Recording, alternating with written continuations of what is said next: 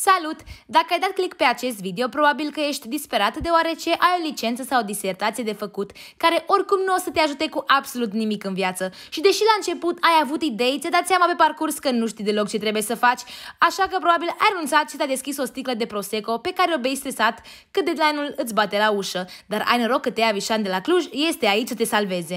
Salut și bine am găsit pe canalul meu, eu sunt Tea, Tea Vișan de la Cluj și astăzi am să vă ghidez în arta scrierii unei lucrări științifice științifice în domeniul economic, marketing, whatever, am să sar în ajutorul vostru pentru că probabil sunteți ca mine. Lăsați totul pe ultima 100 de metri și apoi vă dați seama că nu aveți nicio idee ce trebuie să faceți. Hai, ascultați-mă că nu vorbesc eu mizerii. Am fost și vă de promoție, ești nebun? Pentru context, la licență am scris despre above și below the line advertising în industria de cosmetice din România și la dizertație am scris o strategie de social media marketing pentru creșterea unui canal de YouTube. În primul rând trebuie să-ți alegi o temă. Alegeți una care să-ți placă pentru că va trebui să aberezi o grămadă pe tema aia și ar fi foarte util să știi deja chestii despre tema aia ca să dureze mai puțin timp. În general, o lucrare are trei capitole. Prima e partea teoretică, unde bagi informații din tot felul de surse pe care le găsești cât de cât științifice. Aici am două sfaturi. Ca să te miști repede, aici e foarte bun să găsești cărți pe alte limbi decât limba în care îți scrii lucrarea. Să dai un Google Translate, dai un copy-paste, mai corectezi acolo stânga-dreapta și bam, 70 de pagini. Și numărul 2, dacă nu ești prost și merge mintea la băiatul, scrii de la tine și pui alte surse. Să nu crezi că am făcut așa ceva, dar zic numai că ar putea fi o soluție, nu nu verifică nimeni. Important e să nu dai copy-paste din sursele alea pentru că o să apară că ai plagiat și nu este ok.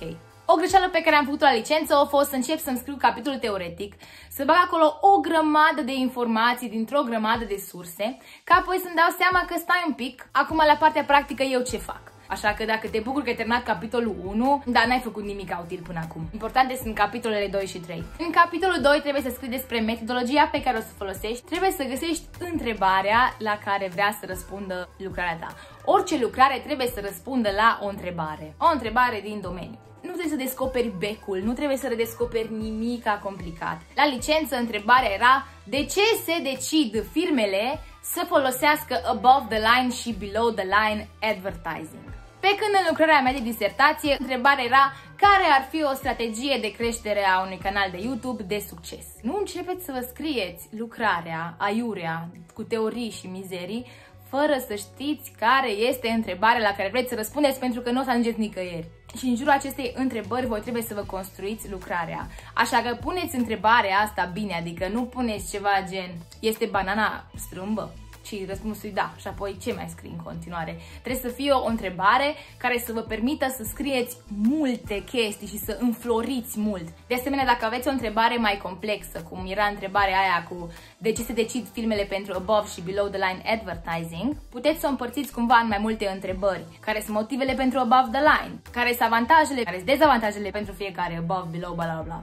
După ce ți-ai pus marea întrebare, trebuie să găsești o metodologie prin care tu să răspunzi la întrebare. Foarte multă lume alege aici un chestionar. Nu recomand chestionarele pentru că trebuie să lucrezi în programe complicate pe care probabil tu nu le cunoști și o să dureze foarte mult timp. Plus că trebuie să te milogești de la din stânga și dreapta, ai contează întreagă chestionarul ăsta, că oricum e de freza. Nu vrea nimeni să răspunde la chestionarul tău. Cea mai bună soluție sunt interviurile. Îți alegi trei experți, dar chiar să fie experți, gen chiar să știe că dacă oamenii ăia nu știu, nu o să pot scrie nimic util în disertație. Eu, de exemplu, mi-am ales un expert de marketing de la firma Davines, unul de la Nivea și unul de la Farmec și am bătut la cap până mi-au trimis interviul uh, completat. Sau cum am făcut la disertație, am făcut o strategie și am implementat-o. Am încercat să-mi cresc un pic subscriberii pe canal. Dacă v-ați înscris la giveaway, să știți că ați făcut parte din experimentul disertației mele. Și acum, dacă vrem să facem un interviu sau o strategie ca lumea, trebuie să le măsurăm ca să putem să afișăm rezultatele la final și să răspundem la întrebare, nu? E bine, ca să măsurăm, ne trebuie niște indicatori. La licența cu advertising-ul am folosit indicatori precum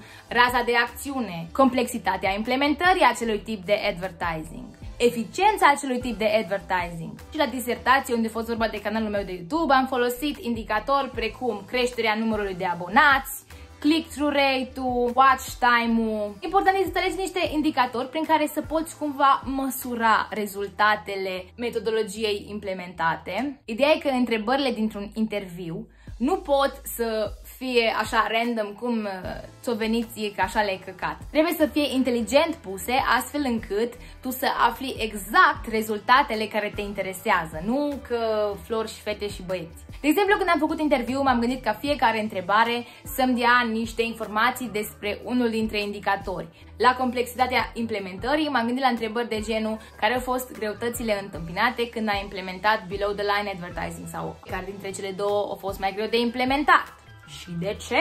Și apoi va trebui să-ți găsești o nișă sau, mă rog, o industrie pentru că altfel e prea generalizat. Industria de mașini, industria de băuturi alcoolice, orice vă place vouă. De exemplu, la lucrarea mea de licență am ales industria de cosmetice. Again, pentru că aia îmi place și despre asta știam informații. Și a fost foarte util că știam chestii în plus, că am putut să aberez. Și la disertație, ca să implementez strategia, am ales canalul meu de YouTube, pentru că altfel nu aveam cum să verific dacă strategia mea funcționează sau nu. Urmează capitolul 3, unde o să detaliem tot ce am făcut practic noi. În cazul interviurilor, de exemplu, am reportat tot ce mi-au zis cele trei firme. Eu am ales să le pun pe toate amalgam, adică toate cele trei firme consideră că, sau două din trei firme consideră că. Dar, dacă vrei, poți să le faci și separat, să scrii despre ce o zis Nivea, și apoi despre ce o zis Farmec, și apoi despre ce o zis Davines, așa pe rând. Și pe lângă faptul că am raportat tot ce o zis la interviu, am legat toată chestia de indicatori, gen. Când vine vorba de complexitatea implementării, firmele au preferat să X, Y. Și aceeași chestie am făcut-o și la YouTube. Orice am făcut pentru strategia mea de YouTube, am legat-o de un indicator din uh, YouTube Analytics. Gen, ca să-mi crească click-through rate-ul, am făcut X, Y, am pus thumbnail, am pus titlu mai interesant, bla bla bla, ca să-mi crească raza de acțiune. Am uh, folosit Google Ads, am uh, făcut un giveaway. Deci asta e ideea în prima parte a capitolului 3, să prezinți ce ai făcut și să legi totul de indicatori. Iar apoi, în ultima parte a capitolului 3, îți vei prezenta rezultatele. De exemplu, la interviuri, în prima parte, ai zis ce ți-au zis firmele. No, acum trebuie să analizezi tu ce o reieșit din ce au zis firmele. Basically, trebuie să tragi niște concluzii de Doamne ajută din ce ai aflat și la YouTube, după ce am spus despre strategia pe care am implementat-o, am intrat în Google Analytics și m-am uitat cum mi-au crescut sau scăzut indicatorii de pe YouTube. Fiecare indicator pe care l-am menționat în hârtie, în lucrare, de fapt, că e mai mult de o hârtie, consumă și voi prostia asta de lucrare, unde eram? M-am pierdut. Da, deci fiecare indicator o să fie analizat cum s-a dezvoltat, în sus, în jos, o rămas la fel. Și îți dai și un pic cu părerea, gen, le interpretezi, numai că zici watch time-ul a crescut de la atâta la atâta pentru că am pus Google Ads și s-au uitat mai mulți oameni, au fost mai multe vizualizări. Oare o să fie util video ăsta pentru cineva? Că pare că e foarte rău. Și după ce ai povestit ce ai făcut, ai zis rezultatele și le-ai și interpretat, este timpul să răspunzi la întrebarea întrebărilor și anume la întrebarea de la care a pornit tot calvarul ăsta. De exemplu, la licență, firmele se decid pentru above the line advertising pentru că X și Y și Z și pentru below the line pentru că de aia și că de aia. Și la fel și la disertație, o strategie de social media marketing de creștere a YouTube-ului ar putea să fie asta, pentru că creșterea subscriberilor din perioada implementării strategiei a fost mai puternică decât creșterea din perioada anterioară. Și uite, așa, aici se termină. Bine, apoi mai scrie acolo o concluzie și un început de Doamne ajută. Și la final pui uh, un titlu, pentru că titlul actually îl pui numai după ce știi foarte bine ce vrei să faci. Also, să știți că și dacă răspunsul vostru este negativ, lucrarea este bună. Pentru că ai descoperit că așa nu e bine. Mie strategia mi-a funcționat, dar poate nu mi-ar fi funcționat. Și aș fi zis, aceasta nu este o strategie bună. Strategia asta nu a funcționat pentru că X și Y. Important, îi că am descoperit ceva. Nu vă complicați cu subiecte grele ca să arate bine, pentru că o să faceți un terchea berchea și o să vă trageți de păr. Când vă alegeți tema, alegeți-vă ceva simplu și faceți-l voi să sune complicat. Păi nu fiți proști, mă! Că nu trebuie să impresionați pe nimeni. Atâta timp cât lucrarea e scrisă fain și bine și inteligent, nu are nimeni ce să-ți comenteze despre tema aleasă. Poate că nu trebuia să beau prosecco înainte să filmez acest video, nu-mi dau seama dacă a fost neapărat foarte înțelegibil ce am zis eu pe aici. Dar sper că ați înțeles. Dacă aveți întrebări, puteți oricând să-mi scrieți pe Instagram, pe YouTube. Puneți și voi în comentariu să fie mai mare engagement-ul. Și cum acesta a fost vlogul, nu uitați să dați like, subscribe și comentarii să mă follow pe Instagram. Nu vă pentru este pentru boomer și m-am pupat. Nu uitați în fiecare marți. Bye! O să mi ziceți dacă vreți să fac un video despre cum să iei note mari la facultate și burse. Am terminat și facultatea și masterul cu 10 și totuși m-am paranghelit în facultate, că nu s-o paranghelit nimeni. Nimeni nu s-o paranghelit ca mine. Știți că mi-e place să petrec.